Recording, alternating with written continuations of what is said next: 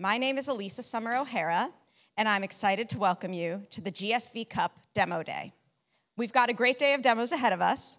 The GSV Cup, presented by Google Cloud and GSV Ventures and supported by HolonIQ, announces the 50 most innovative digital learning and workforce skills startups that are poised to revolutionize pre K to gray learning.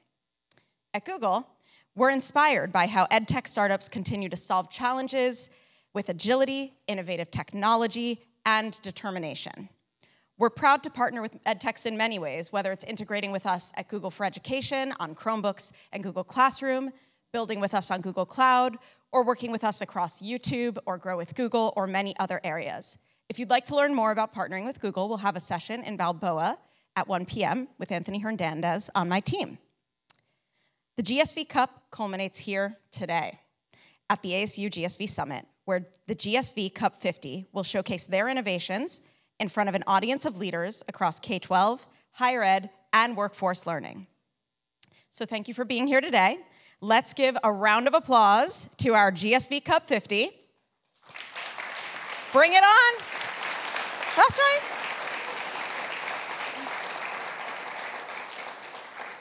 All right, well, we're very excited. I'm going to pass it off to Alex, and you'll hear more about this year's amazing group of startups.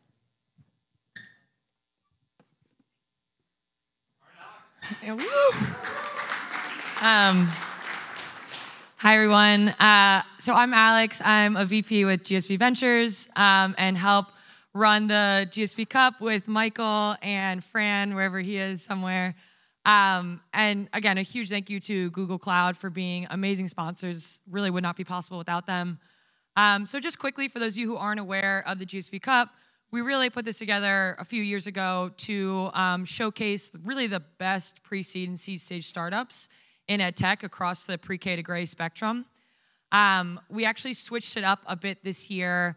Normally, it's kind of a, a very cumbersome application process where the startups have to apply this year, since we wanted to make sure we included every single startup globally and make it as low friction as possible to nominate a startup or for a startup to be considered in the pool, we opened up nominations to everyone.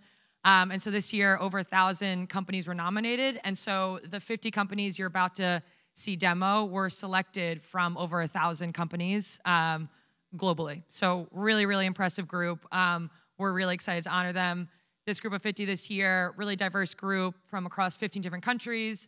Um, 31% are domiciled outside the US. Um, you know, we have 66% either have a female founder or a founder of color.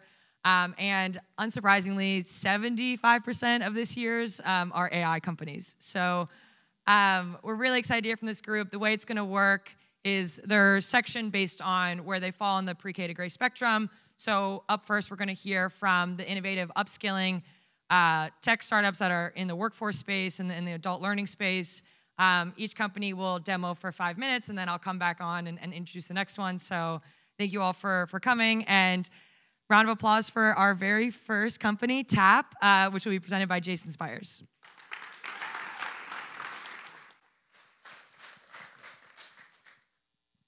So they always say that you say the best for last. So when she said that I was first, I, I kind of took that to mean something. So my name is Jason Spires. I'm the CEO and co founder of TAP, which stands for Training All People. That's an interesting title for me because when I was 17, I was a welfare kid trying to figure out how I was going to get my first meal. Like every teenager, I made stupid mistakes, probably bigger than some of you when you were 17. I decided to sell pot.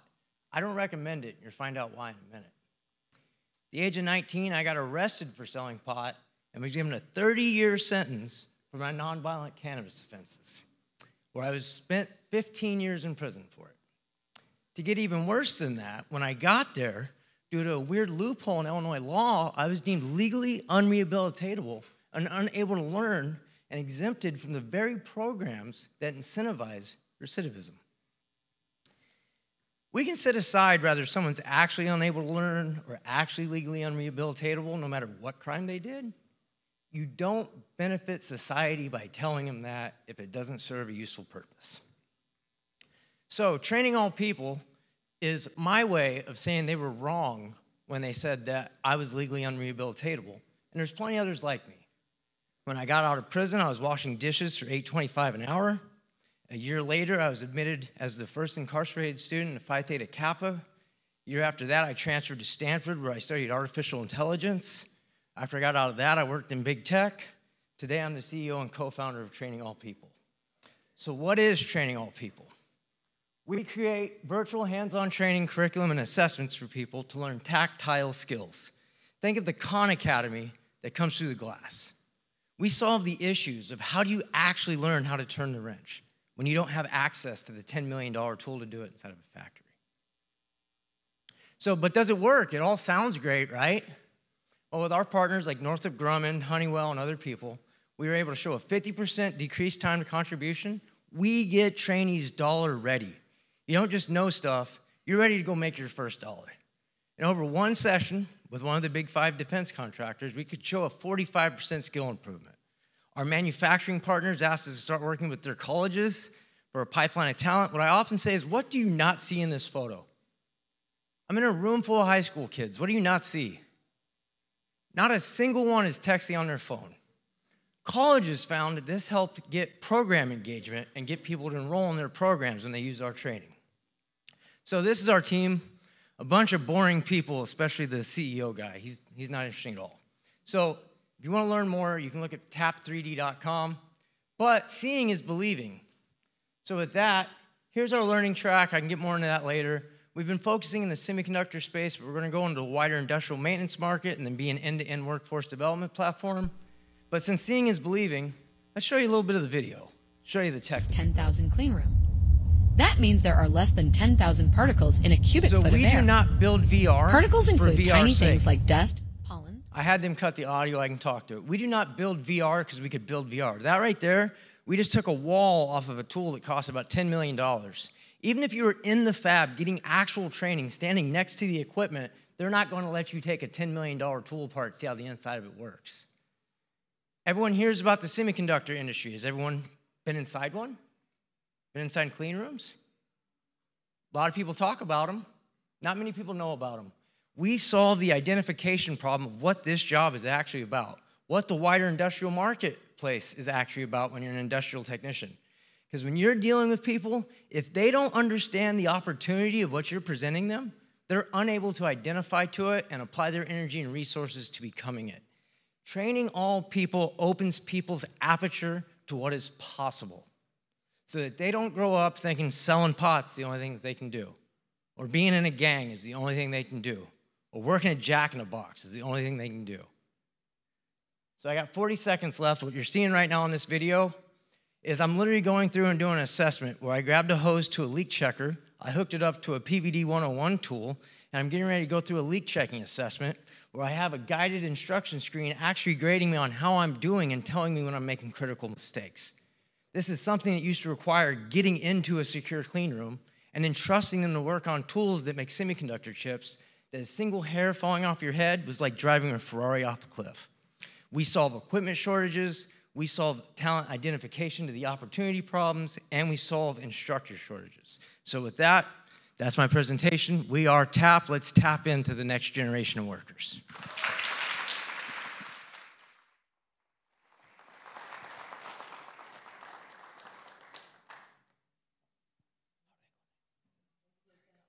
What's next? Next is this.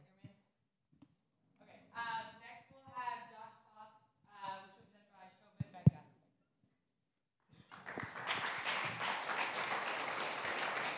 Hello, everyone. It's fantastic to be here. So, my company is called Josh Talks. Josh in Hindi means vigor. The goal of my company is to unlock human potential. We serve an audience that is living in the villages of India, aged 16 to 30. So, over our 10 year history, almost 10 year history, we built two products. The first is where we give rural youth access to role models. You know, I think role models are one of the most underappreciated function of doing well in life. Had it not been for the role models I got, I might have been living in a small village in the Himalayas, and I wouldn't be here. So we do this through TED-like talks. Here is a short video. We are building a spacecraft which will land on the moon by the end of next year. My name is Ankit Kawatra, and I will be ending hunger.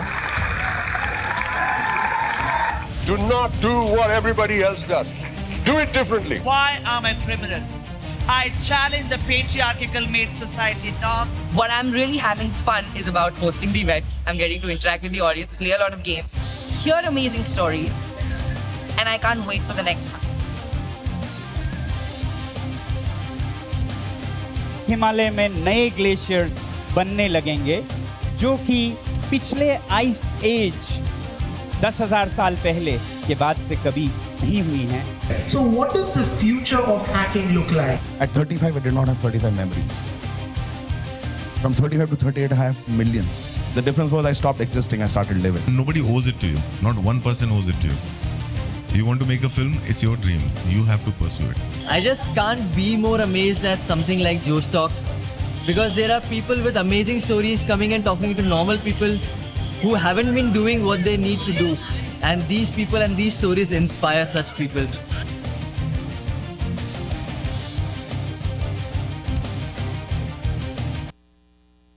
YouTube alone, over 50 million people watch a Josh Talks every single month. Across the internet, about 150 million people watch Josh Talks every month.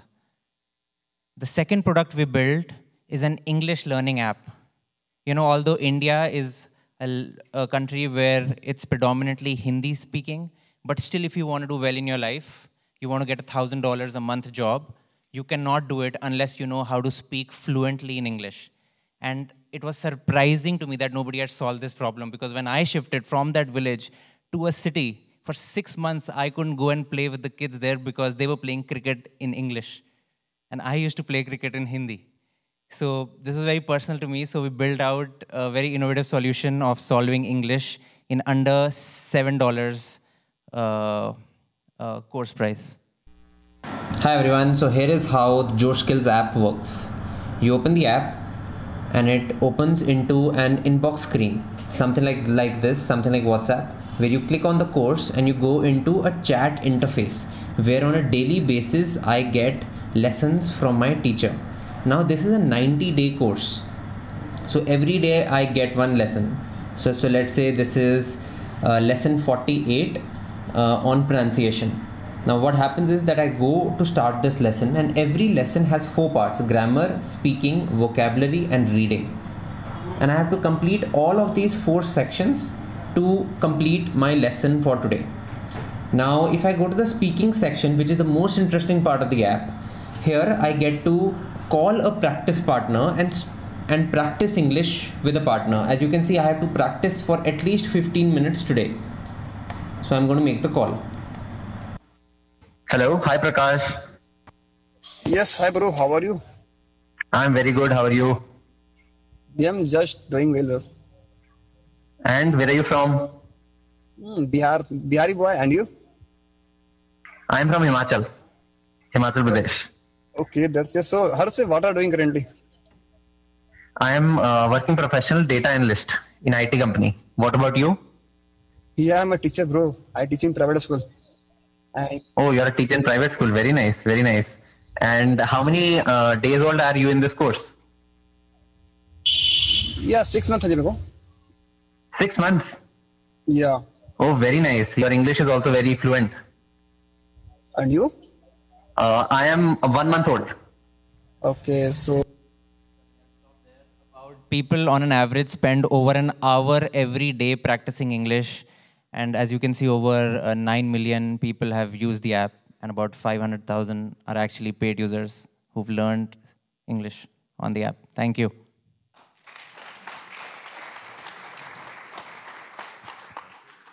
Thanks, Shobhit. Um, next, we will have Sparkwise, which will be presented by Vince Jung.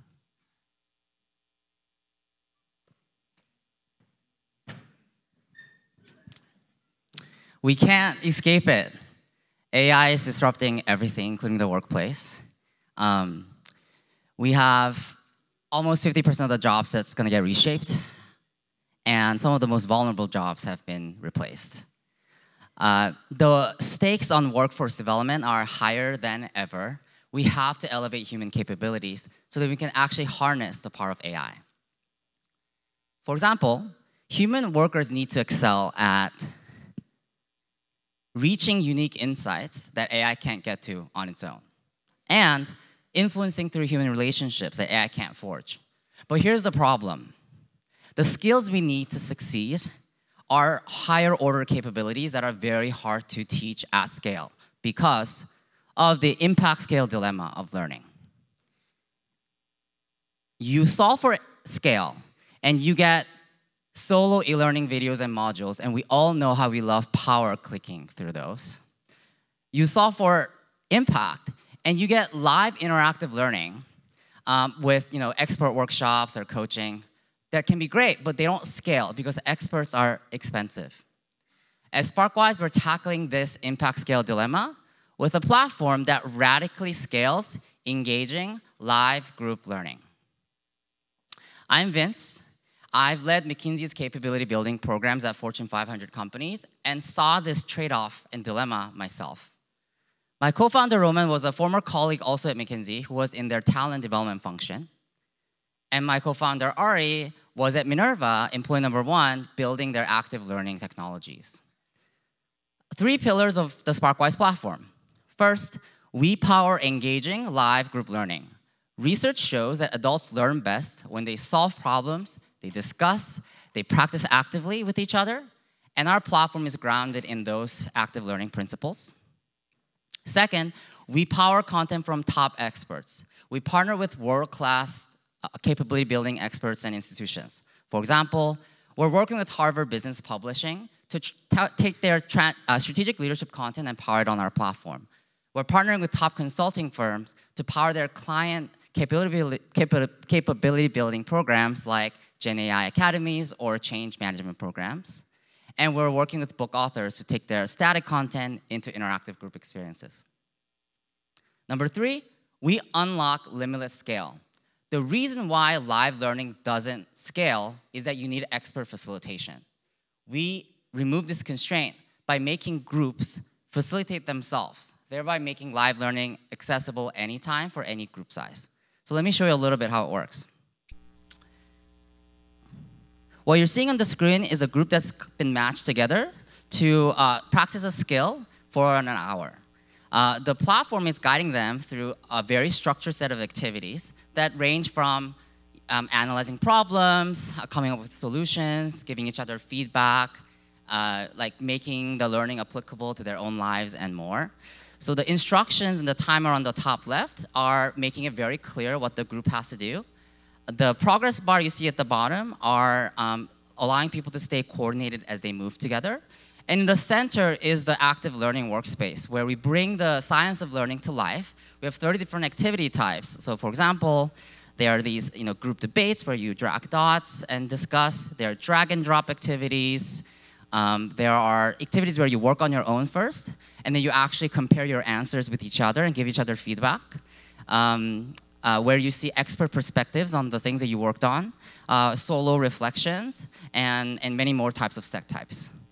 Um, what you're going to see at the bottom, there's a purple box there. It's one of the intelligent prompts that our system provides so that the group can really engage in an interactive way together. And we're adding more AI-powered features like that to uh, really uh, enrich the group learning experience on their own.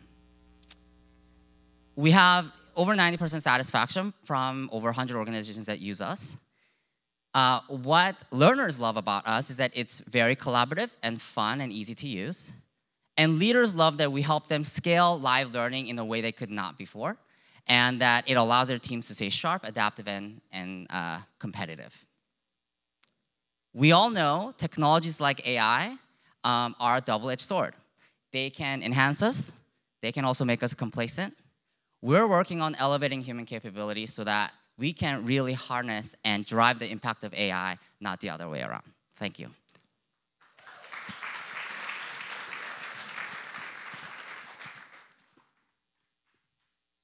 Thanks, Vince. Uh, next, we will have Uplimit, which will be presented by Julia Stiglitz.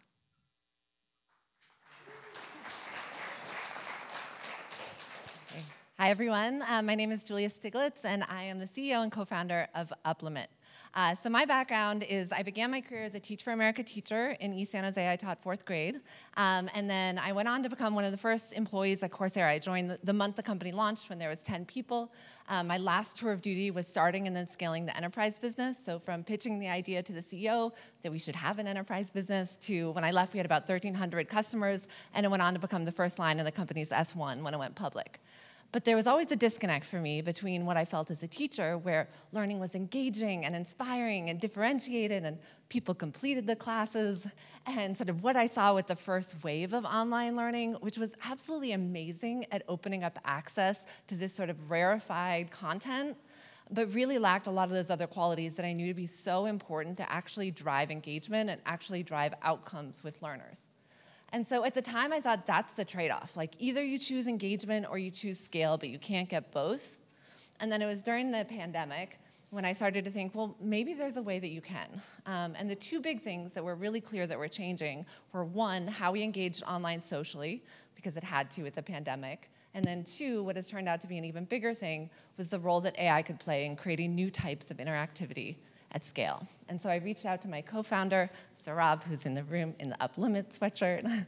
and um, he was an early engineer at Coursera and then had gone on to Google Brain. And, um, and we recruited our third co-founder, Jake Samuelson, who was an early product manager at Coursera.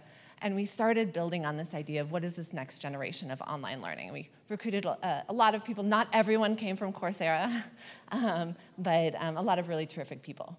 Um, you know, in many ways, the disconnect that I felt between what I saw as a teacher and what I felt um, with the first wave of online learning, I think has been one of the limiting factors in EdTech. Like, it's a services business, and so many of those services are what make a difference to learners. The difference between completion and not completion, the difference between engagement and lack of engagement. But technology hasn't really been able to touch those services until the last year or two with generative AI. And that's really where we've been focused. And so we're building an end-to-end learning, AI learning platform that delivers high-touch, personalized learning experiences at scale. And our mission is to unlimit the world's learning potential. So there's three elements to our platform. The first is around uh, using AI to accelerate the production of content. The second piece is using it to drive personalization and learner support. And then the third element is so much data is collected in these classes, and we think of the classes as living, breathing things. How can you use that data to flow back into the system to improve the courses going forward? And so I'm going to start flying through this because I have very little time. But uh, here you see an example of our AI content generation where you can upload videos or docs or PDFs, and it takes learner or takes instructors through a workflow, thinking about where the human should be and where it should be AI and um, to ultimately create what we think of as a really good V1 of, uh, of a course. Um, we have lots of tools around scaling learner support, like an AITA, and a lot of what we've observed here is that um, if you just have a chatbot, you're still only going to reach really the like top 10% of the class. It's still the students in the front row that are raising their hand, asking the questions, and the students you really want to reach are the ones that are struggling formulating those questions. And so we've worked to make the AI a lot more proactive, identifying when students need help, when they need a hint, and then proactively leading them to the right answer without giving it to them. Um, we've also, you know, thought, you know, where what, what needs to stay human. Like there are certain elements that are just very motivating by having a human involved, but that can really be scaled up. And so we have a student CRM that program managers and instructors can use to drive personalized support through our workflows. Um, we also have a really great marketplace of courses focused on AI um, that companies can leverage. Um, with people like Grant Ingersoll, who's a former CTO of Wikipedia. He teaches a search with machine learning course. Um, and it's working. So our completion rates, we have 75% completion rate, which compares to about 3 to 6% what you see in MOOCs, 65 NPS, 95% of learners say that they're going to apply the skills back to their job. Um, the largest cohort that we've run was in partnership with OpenAI, and we had 6,500 people in it. There was one program manager that was managing that course in addition to a bunch of other courses. Um, and so there, there really is the potential to you know, scale this and deliver great quality. Um, we're working with some amazing companies. Um, uh, Databricks is one of the companies we're working with to scale their customer education program, but we're also working with companies like Kraft Heinz and GE Health who have rolled out AI accelerators with us. Um, so finally, I want to leave uh, with a, a, student story. This is one of our early students, um, Emily. Um, she was enrolled, co-enrolled in a master's in machine learning from Northwestern, which is a $90,000 degree. And then she was enrolled in our $400 applied machine learning course. And she paused her $90,000 degree to focus on our $400 machine learning course because she felt like it did more to move the needle in her career. And I think there's so much potential to just sort of break the paradigm of cost and quality in education. And I think this is the moment to do it. Thank you.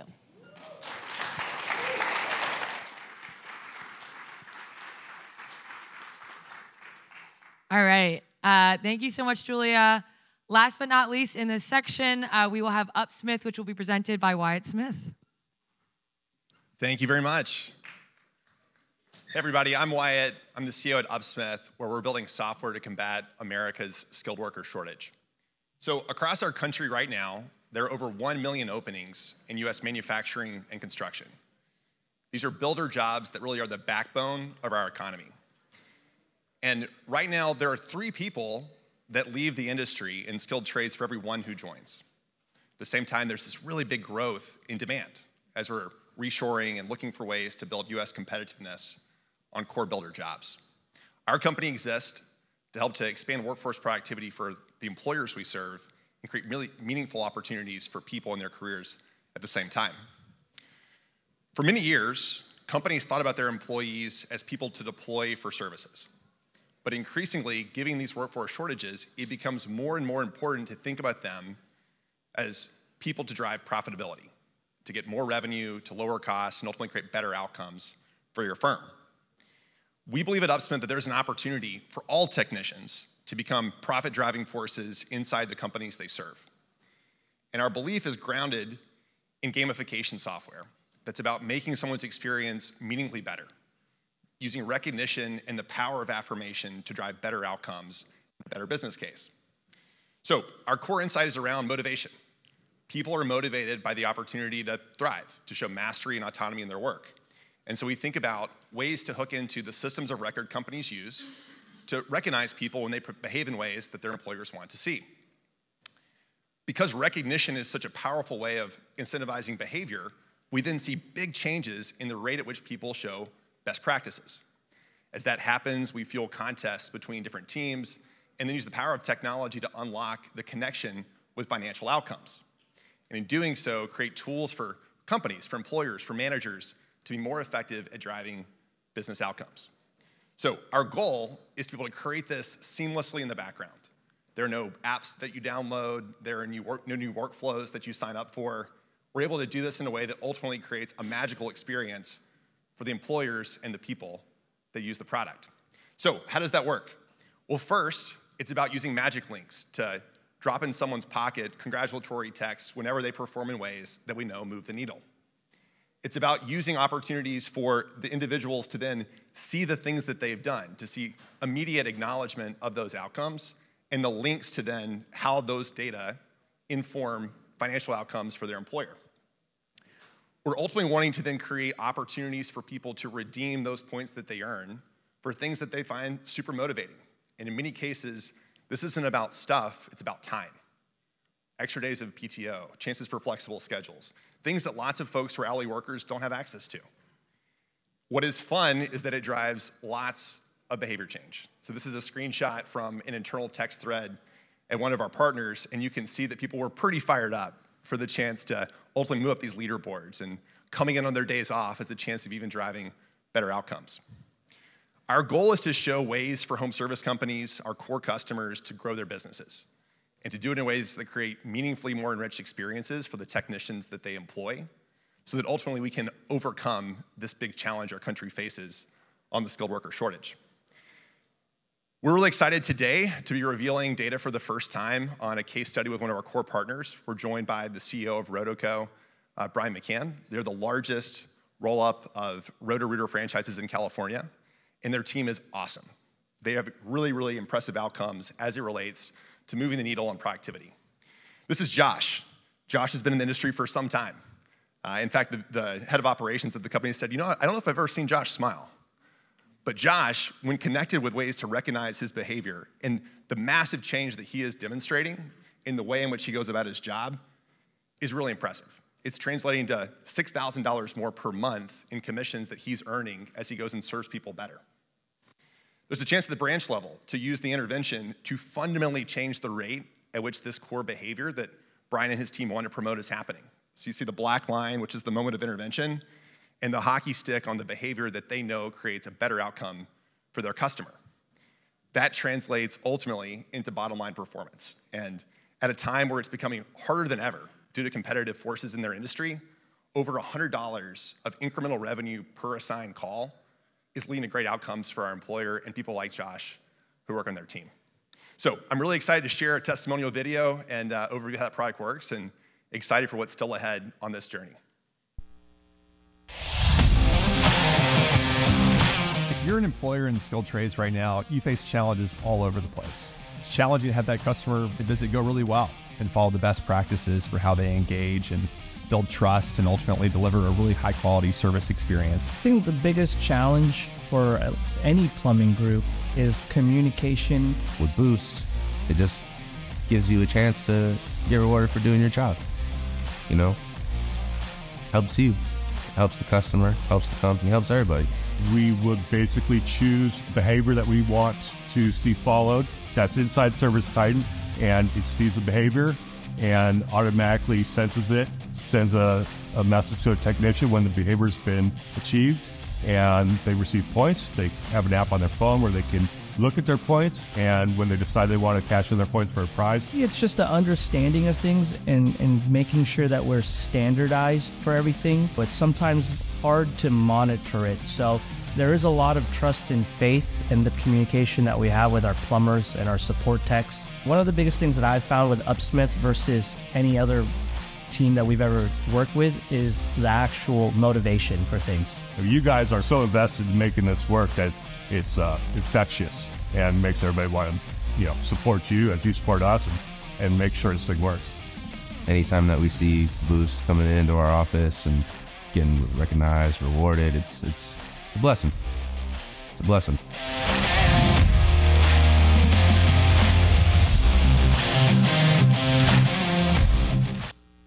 Thanks to the GSV team for creating the opportunity to share more about our vision. We're boosting productivity one technician at a time. Thank you.